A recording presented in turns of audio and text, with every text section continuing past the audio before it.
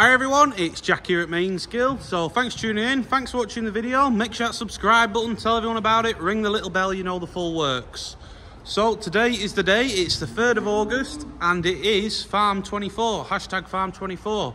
So it's Farmers Guardian's, big, big day of the year. Uh, everybody gets involved, farmers from all over the country. They've been keeping you updated throughout the day. Videos of what's going on, what they do within their business. Not only farmers, farming related businesses. Um, so it can be suppliers, uh, concrete panels down the road. I see he's been busy with it as well. Austin Richardson, low range, low range quarry, he's been busy. And um, everyone's been putting videos on. So it's Farm 24.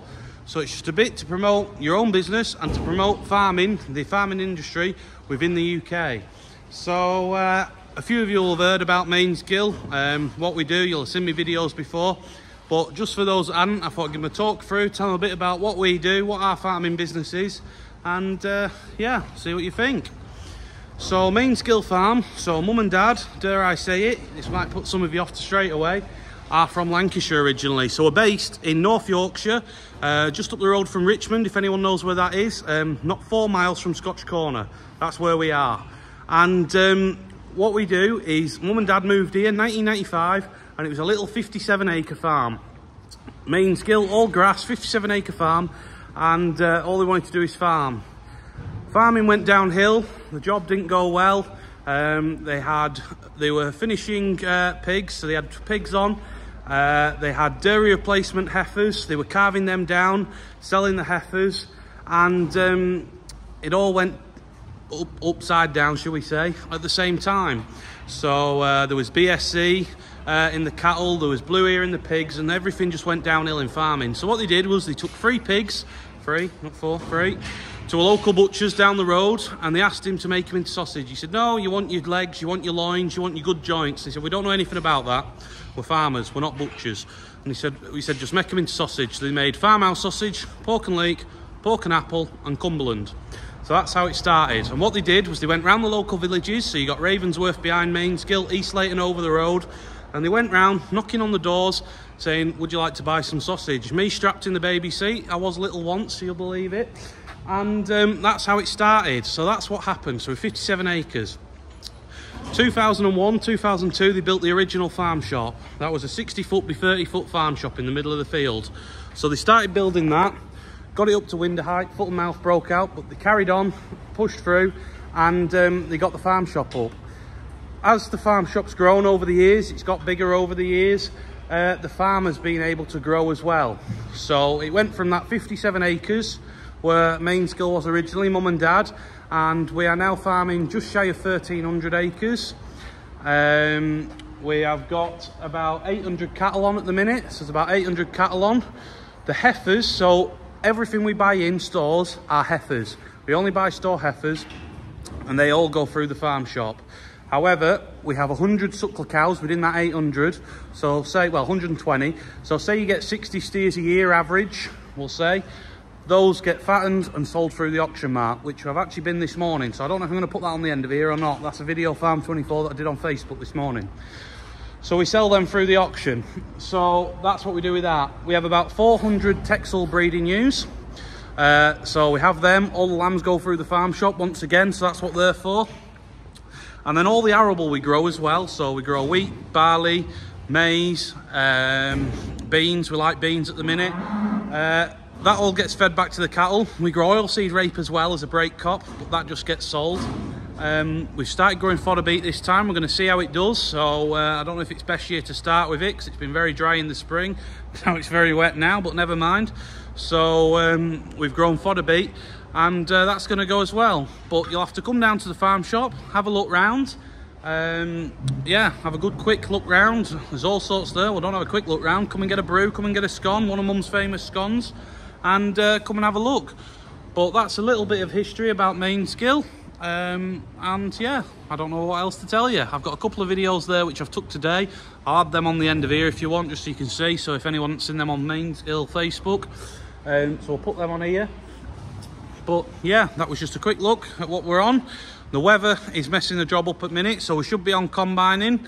Uh, that's come to a standstill. I could really do with getting silaging done as well, but that's come to a standstill, and uh, it's just the weather. So we'll see how we get on. We got all the lambs weaned, either last week, maybe week before now. We got all the lambs weaned today, they're all split off. We've been on sorting cattle today, because you can see this shed is rather empty, apart from these couple of cows here. We're fetching some beasting tomorrow. They're out in the field. They should normally be left, left outside for a lot longer yet but it's just coming wet. It's a wet field now by the looks of it. So we're going to fetch them in because this weather, they're not going to do out flash outside, so they may as well be inside. So that's it. So that's a bit of history of Mainsgill, where mum and dad have come from, where it started, and where we're at now. So thanks for watching. Make sure that subscribe button, tell everyone about it, and uh, flick back through the videos. You'll be able to see a bit of that, what I've been telling you about Mainsgill. Bits of all sorts going on, plenty to see. All right, see you later and good, good. Oh, that's everywhere this morning. Hi everyone, it's Jack here at Mainsgill. We got Claire here as well. Yours is everywhere as well. and uh, so today it is hashtag farm24. So I didn't really realise then until it just pinged up Farmers Guardian have gone live. So I thought, oh yeah, today's the day. So we're just in the cattle shed here and we are just on pulling out some steers. So um, here at Mainsgill we have the cattle. Um, we only buy in store heifers, but we have the suckler cows. So the suckler cows is about 120 cows, so you get 60 steers a year average. Um, we fatten all them and we send them through Darlington Auction Mart, which is only down the road, DFAM.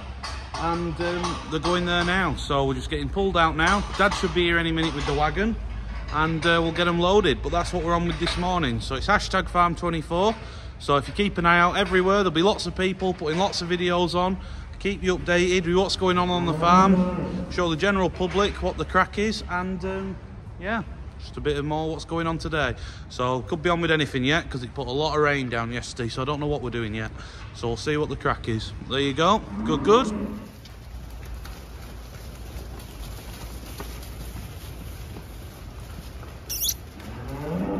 Come on, lad.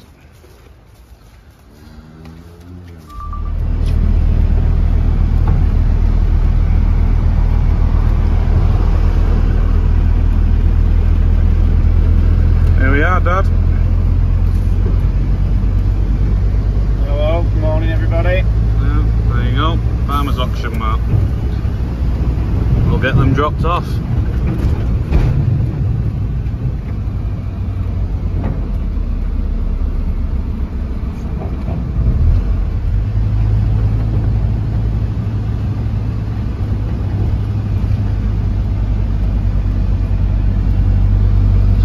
this is a new auction mart so it used to be in the middle of Darlington and they moved here it's probably longer than you think now, It'll be a couple of years will it? It will be now. Yeah it will be now so Time goes. Does, does. So here we go. So I'm going to go up here now and the loading dock is just on this back side here. We'll get them dropped off. See how they do. There we go. A few people here as well. Good, good. Hi everyone, it's Jack here at Mainsgill. So it's still Farm 24. So it's still the day. And what we're on with now is we are turning the last of the cows and calves out into the field. So these are some late calved ones. So these were the last ones to calve, seven in total. We've left the calves in the shed. We've got five in here. We've only come down through the sheds there, big sheds down to here to tip them and let them run down the bottom of the bank. So there's five cows in here with all the weight against the gates by the looks of it. And um, we're going to let them go down the hill. So I'll flick you around, show you what's occurring. Here we go. So they're about to go. So this one here is actually, well, that one and that one are first timers. They're the first calves we've had this year. The black one and the red one will be about four, five year five year old they'll be but then this one here she'll be about eight year older. She's an older cow now. She's getting a bit well not old old but she's getting older a bit. So go on get yourselves down here. So i'll walking down this hill now and then we'll fetch the calves in a minute.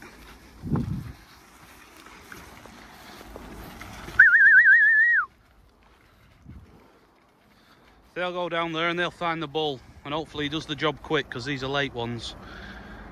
And gets them back in sync. So we were going to turn them out the other day and it just come horrible. Chucking it down just as we got them pulled out the shed, ready to go on the for loading. And it absolutely started chucking it down. So we didn't think it was very nice on the calves. There they go, the cows. So I'll get this shut back up now. And we'll go and get the calves and another two cows and calves as well. I'll show you something else while I'm here because I don't know if I've shown you all on the Facebook. Look at what I've got here. So this here, you can see them busy. If you zoom in, that is my beehive. There we go. So we're to try and get some honey as well. See how we do. So that's my honeybees there. Good, good. And as you can see, we're fairly desperate to get on silaging when it dries up as well. Here we go. Another cow, another heifer. There's the calves.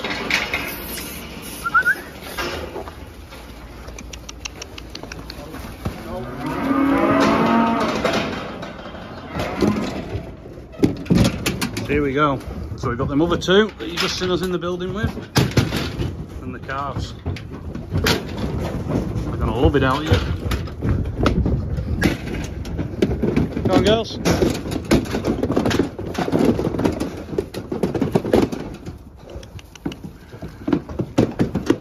So you see you got a mixture of blimmies, blimmy calves and blue calves. That white one, although it looks like a Charolais, it is just a blue. It's out of a Charolais cow actually, it's out of that old cow I told you on that first bit. She's a Charolais, but uh, it's by the blue, that calf. It's come out white.